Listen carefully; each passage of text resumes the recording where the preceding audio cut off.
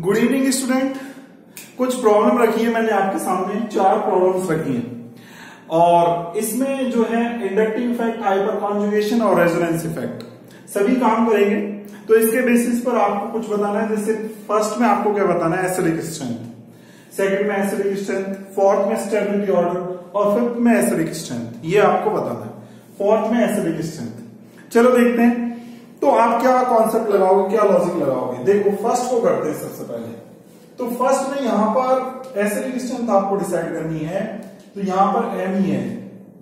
और यहाँ पर एम ही है। और यहाँ पर एम ही है। मिथाइल तो मिथाइल जो है, इसका हाइपर कॉन्जुगेशन कहाँ पर काम करेगा? ऑर्थो पर हाइपर कॉन्जुगेशन काम करेगा। प्लस एच काम करेगा। ठीक है? और क्या काम करेगा? यहाँ पर प्लस आई काम करेगा। दोनों काम करेंगे। यहाँ पर बात करेंगे तो प्लस एच काम करेगा और प्लस आई काम करेगा। हाइपर कॉन्जुगेशन काम करेगा। यहाँ पर सिर्फ़ और सिर्फ़ प्लस आई काम करेगा। देखो मेटा पर जो रहता है हाइपर कॉन्जुगेशन नहीं लगता, ना रेजोनेंस लगता है। सिर्फ़ आई इफ़ेक्ट इंडक्टिव इफ़ेक्ट लगेगा। तो इसके बेसिस पर आप क्या बोलोगे? यहाँ पर इंडक्टिव इफ़ेक्ट लग रहा है, यहाँ पर ये यह लग रहा है। यहाँ पर भी देखोगे कि ऑर्थो में इंडक्टिव इफ़ेक्ट ज़्यादा लगेगा क्योंकि पास में है ठीक है? और प्लस आई से एसिडिटी का क्या हो जाती है? कम हो जाती है। तो मैं ये बोलूँगा कि सबसे ज़्यादा जो एसिडिटी होगी, वो होगी सेकंड की। ठीक है? क्यों होगी सेकंड की? क्योंकि सेकंड में प्लस आई लग रहा है। अगर प्लस एच और प्लस आई दोनों एक साथ लग जाते हैं तो इंडक्टिव इफ़ेक्ट सॉरी जो एसिडिटी है, वो कम हो जाती है। तो सेकंड थर्ड और फ़र्स्ट की तो कम आएगी। अब फ़र्स्ट और थर्ड में अपन कैसे कंपेयर करें? तो फ़र्स्ट और थर्ड में कंपेरिजन करोगे आप। कि इसमें प्लस आई जो है थोड़ा ज़्यादा है, इसमें प्लस आई थोड़ा क्या है, कम है। क्योंकि inductive effect distance dependent effect है तो इसमें प्लस आई कम है और इसमें प्लस आई क्या है, ज़्यादा है। तो ज़्यादा प्लस आई है, ज़्यादा प्लस एच है तो प्लस आई और प्लस एच ज़्यादा हो जाने से एसिडिक डिस्टेंस सबसे कम हो जाएगी। तो फ़र्स्ट की सबसे कम आएगी, फिर बचा कौन? जो बचेगा वो थर्ड बच जाएगा। तो ये आप बोलोगे एसिडिक डिस्टेंस ठीक है? तो इसमें तो ये ऑर्डर आ जाएगा। अब चलते हैं इस पे। तो यहाँ पर देखो ये NO2 इस NO2 का यहाँ पर जो इफ़ेक्ट चलेगा, वो माइनस एम चलेगा। यहाँ पर भी चलेगा क्या? माइनस एम चलेगा। इस NO2 का ये कौन सी पोजिशन पर है? ये मेटा पर। तो यहाँ पर सिर्फ़ माइनस आई चलेगा। और यहाँ पर क्या चलेगा? माइनस एम चलेगा। और यहाँ पर बात करेंगे तो यहाँ मेटा पोजिशन है माइनस आई है। यहाँ पर भी माइनस आई है। तो अब देखो ज़्यादा माइनस आई होता है या ज़्यादा माइनस एम होता है? माइनस एम ज़्यादा होगा तो एसिडिक स्ट्रेंथ सबसे ज़्यादा आएगी। तो याद रखना, इसकी सबसे ज़्यादा एसिडिक स्ट्रेंथ आएगी। फ़र्स्ट की सबसे ज़्यादा। फिर सेकंड और थर्ड में कैसे कंपेयर करेंगे? सेकंड में जो है माइनस एम लग रहा है और माइनस एम लग रहा है। माइनस एम जो है, उससे सबसे ज़्यादा एसिडिटी होती है। तो एसिडिटी जो रहती है, सबसे ज़्यादा माइनस एम की वजह से माइनस एम है पर। तो इसकी ज़्यादा जाएगी सेकंड की। और फिर कौन आ जाएगा? फिर जो नंबर आएगा वो थर्ड का नंबर आ जाएगा। तो ये अपन ऑर्डर लिख देंगे। ठीक है, इसमें आ जाएगा। अब इसमें बात करते हैं, इसमें स्टेबिलिटी ऑर्डर की पूछ रहे हैं। तो यहाँ पर ये ऑक्सीजन है, ये ऐसे इलेक्ट्रॉन देगा और इसका दोनों इफ़ेक्ट चलेंगे।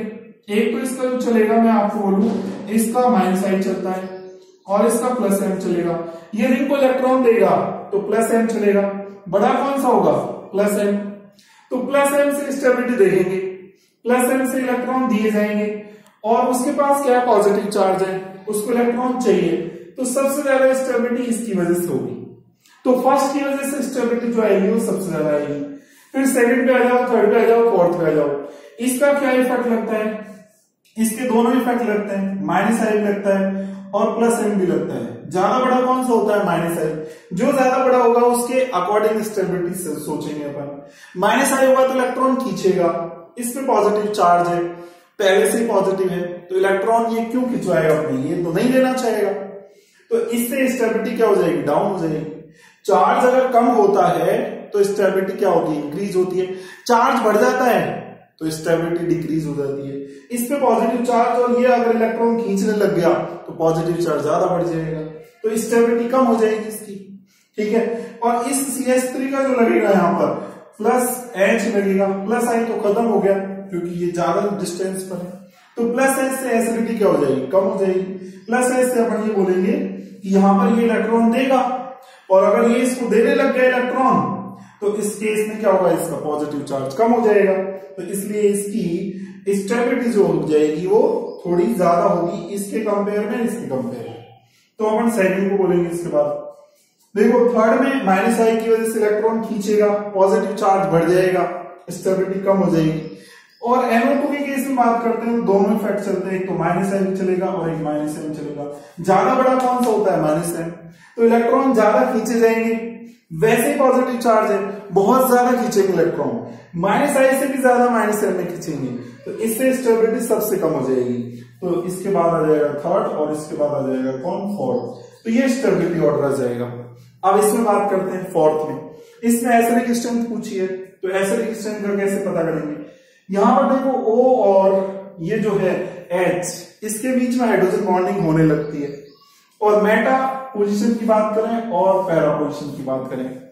तो देखो यहाँ पर मेटा पोजीशन पर जो लगेगा, वो लगेगा क्या? माइनस आई इफ़ेक्ट और यहाँ पर जो लगेगा, वो क्या लगेगा? वो दोनों लगेंगे। माइनस आई भी लगेगा और माइनस एम भी लगेगा। बड़ा कौन सा होगा? बड़ा माइनस एम होगा। तो ऐसे स्ट्रेंथ इसकी वजह से तो सबसे ज़्यादा आएगी।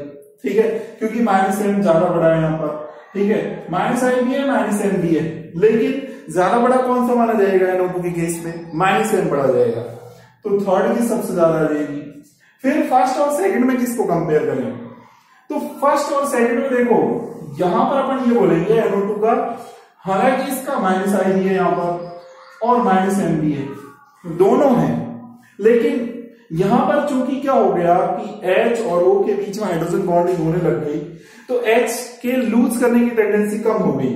तो थोड़ी एसिडिक स्ट्रेंथ इसकी कम हो जाएगी। लेकिन इतनी भी कम नहीं होगी जितनी इससे कम हो जाए जो। ठीक है? क्योंकि इसमें माइनस एम तो काम कर ही रहे ना तो इसकी एसिडिक स्ट्रेंथ इससे ज़रूर कम नहीं होगी। ठीक है? इससे थोड़ी सी ज़्यादा होगी, लेकिन इससे कंपेयर में थोड़ी क्या हो जाएगी? कम हो जाएगी। ठीक है? तो इसके बाद फ़र्स्ट आ जाएगा, और इसके बाद जो आएगा वो कौन आ जाएगा? सेकंड इस तरीके से इसमें हाइपर कॉन्जुगेशन भी काम कर रहे हैं कहीं पर। कहीं पर इसमें इंडक्टिव इफ़ेक्ट भी काम कर रहे हैं। कहीं पर इसमें रेजोनेंस भी काम कर रहे हैं।